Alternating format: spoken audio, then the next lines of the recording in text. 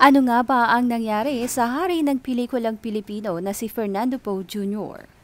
Si Ronald Allen Kelly Poe o nakilala sa pangalang Fernando Poe Jr. o FPJ ay ipinanganak noong August 20, 1939 sa Manila.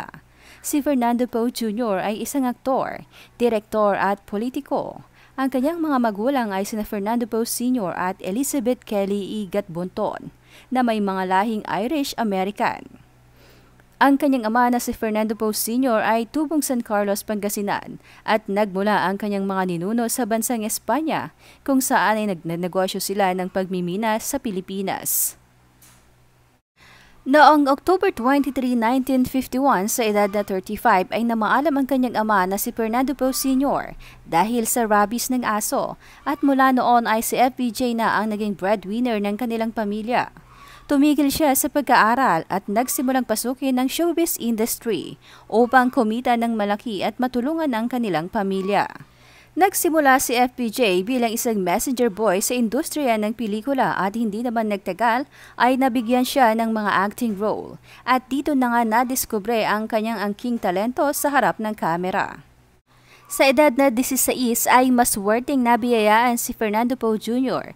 ng kanyang kauna-unahang pelikula na siya mismo ang gumanap na bida at pinamagatang anak ni Palaris. Si FPJ na binensagang daking o hari ng pelikulang Pilipino dahil sa kanyang husay sa pagganap sa kanyang mga role bilang bida dahil rin sa kanyang mga sunod-sunod na kombinasyon ng suntok at malakidlat na pagbunot ng baril ay talaga namang hinangaan at tumatak sa isipan ng mga manonood. Taong 1968 nang ikasal si The King sa actress na si Jesusa Purificacion Levy Sonora o mas kilala bilang si Susan Roses. Hindi nagtagal ang mag-asawa ay nag-ampon ng isang batang babae at ito nga ay si Senator Grace Poe. Bagamat isang sikat na tao ay nananatiling pribado si FPJ pagdating sa kanyang personal na buhay. Ngunit noong February 2004, Inamin ni Daking na mayroon siyang anak sa ibang babae. Si Ronyan o Ron Alan ay anak ni FPJ kay Ana Marie na dating actress. Kalaunan, inihayag din niya na mayroon pa siyang isang anak sa dating modelo na si Rowena Moran at ito nga ay si Lovie Po. Sa kaparehong taon na iyon ay tumakbo si FPJ para sa pagkapangulo ng Pilipinas.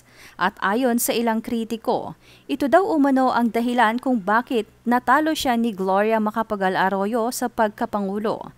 Dahil pinahahalagahan umano sa ating bansa ang pagiging sagrado ng kasal at sa naging issue niya na magkakaroon ng anak sa ibang babae.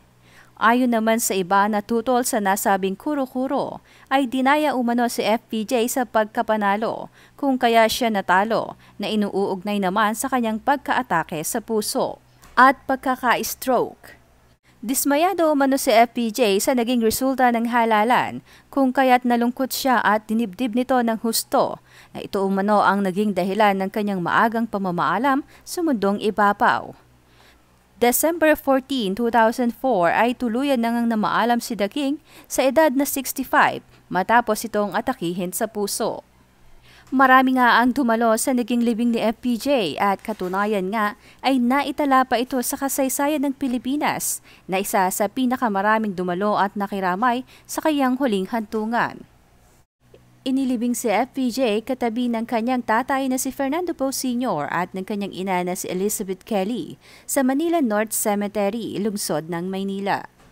Noong May 2006 naman itinanghal ng Pambansang Komisyon sa Kultura at Mga Sining ng Pilipinas si FPJ bilang pambansang alagad ng sining o National Artist para sa pelikula Ngunit hindi ito tinanggap ng asawa ni Poe na si Susan Roses dahil aniya ay magiging public display lamang ang kanyang asawa. Narito naman ang mga naging pelikula ni FPJ. Noong 1955, Anak ni Palaris, Rosita Nobles, Simaron, Babaing Mandarambong, Low Waist Gang, Bakasyon Grande, Kamay ni Cain, Bicol Express, Los Lacuacheros, H-Line Gang, Yaya Maria, Student Canteen, Tipin, Lutong Macau, Pepeng Kaliwete, May Pasikat Ba sa Kano, Obra Maestra, Atrevida, Lois Gang at si Og sa. Laban sa lahat noong 1958, anak ng bulkan, markado, baril sa baril, sandata at pangako, The Place, Pasong Diablo, Sigaw ng Digmaan, Intramuros, hanggang may kalaban, mga alabok sa lupa. To Susan with Love, Tatlong Hari, Tanging Ikaw, Sorrento, ang pagbabalik ni Daniel Barion, ang mangliligpit, magpakailanman, Dos por Dos, Ang Dayuhan, Baril at Rosario, Barbaro Cristobal, alias 123, Perlas ng Silangan, Santiago, Divina Gracia, Asadillo, Santo Domingo, Magiting at Pusakal, Ang Alamat, Esteban, Batyat Palo-Palo, Happy days are here again, Bato sa Buhangin, Tutubing Kalabaw, Tutubing Karayom, Totoy Bato, Bontong, Little Christmas Tree, Tundo, Isla Puding Bato, It Happened One Night, Ang Lalaki, Ang Alamat at Ang Baril, Commander Ulupong, Patayin si Mediavillo, King, Isa para sa lahat, lahat para sa isa, at muling nagbaga ang lupa. Mahal, saan ka nang galing kagabi? Durugin si Totoy Bato, Ilan naman sa mga naging pelikula ni The King simula noong dekada 80 ay ang Agila. Mahal, kinabigan na naman. Ang Lihim ni Guadalupe, Kalibre 45, Ang Panday, Ang Maestro, Bandido sa Sapang Bato, Sierra Madre, Pagbabalik ng Panday, Manidier si Commander, Daniel Bartolo ng Sapang Bato, Ang Panday ikatlong yugto, Umpisahan mo, tatapusin ko.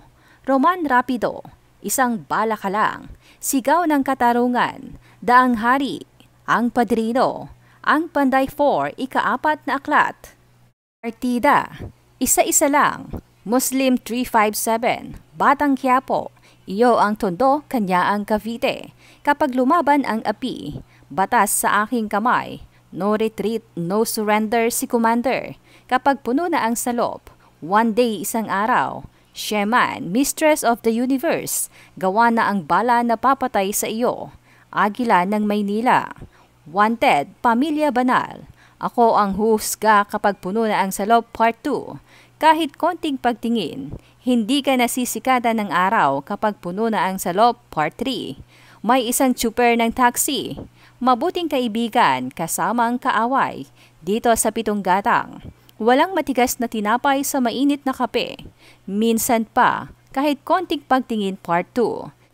Kahit butas ng karayom, ang syota kong balikbayan, isang bala ka lang part 2. Ikaw ang mahal ko. Hagedorn. Ang probinsyano noong 1997. Eseng ng Tondo. Epimaco Velasco, pagbabalik ng probinsyano. Hindi pa tapos ang laban, alias lakay, isusumbong kita sa tatay ko. Ang dalubhasa, ayos na ang kasunod, batas ng lansangan, ang alamat ng lawin. Pack nurse, isang dakot na bigas at tatak barbaro.